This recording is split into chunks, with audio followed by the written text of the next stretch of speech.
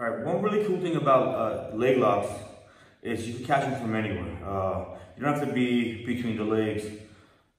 The surprise element. So as I'm escaping back control, so I'm working to escape. As I come out, say I came over here and I'm slipping out. We came over here. A lot of people just tend to turn out and face their opponent. But why lose this position if it's already here?